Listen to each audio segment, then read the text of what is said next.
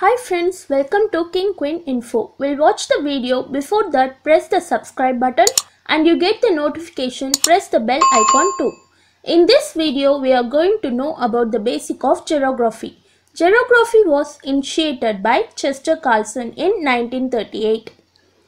First charging, the second one is imaging, the third one is expose, the fourth one is development and the fifth one is transfer, the sixth one is fusing and the final seventh one is cleaning.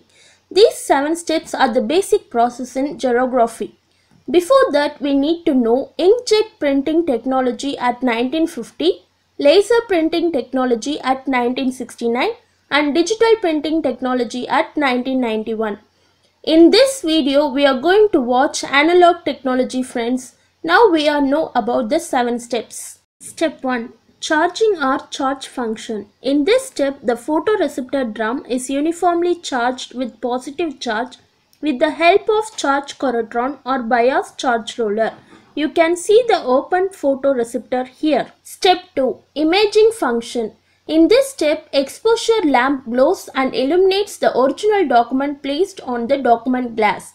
The image of the original document in the form of light is produced which falls onto the first mirror, gets reflected falls onto the second mirror, gets reflected falls onto the third mirror, gets reflected and passes through the lens where it gets reduced or enlarged and falls onto the fourth mirror.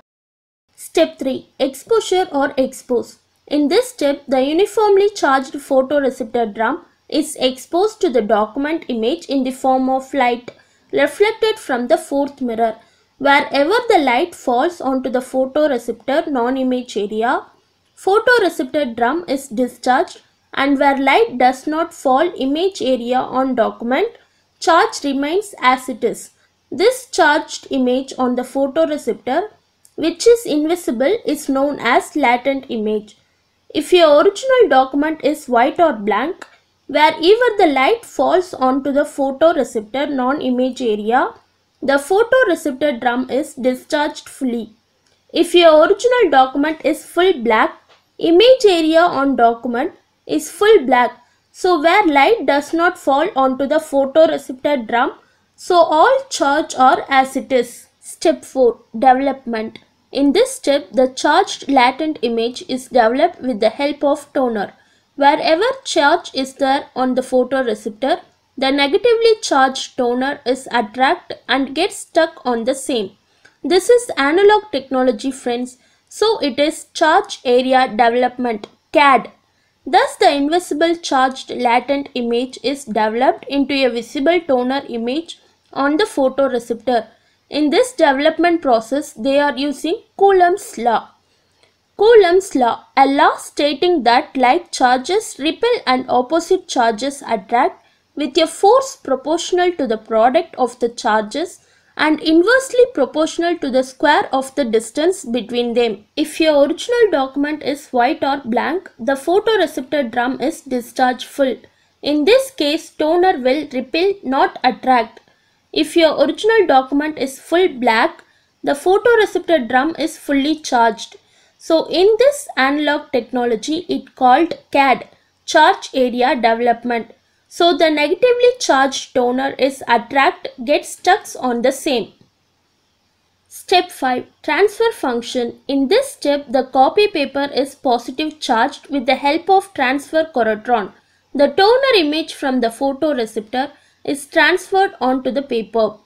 Step 6 Fusing. The toner image transferred onto the paper from photoreceptor if rubbed gets removed.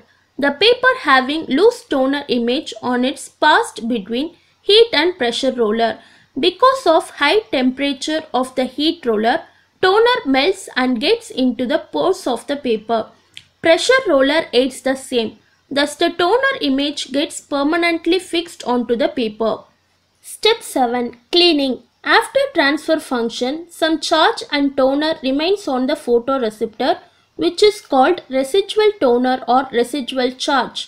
Before new cycle starts, the photoreceptor is to be discharged totally and also residual toner is to be removed completely. so that we do not get previous copy impression on the second copy. With the help of cleaning blade or cleaning roller, residual toner is cleaned and with the help of pre-cleaned Corotron or pre-charge erase lamp, residual charge is neutralized. This is called cleaning function. Thanks for watching this video. If you like the video, thumbs up and you have any doubt, please comment and share and once again subscribe my channel too. Teaching is the royal way to learn. Bye bye. See you friends.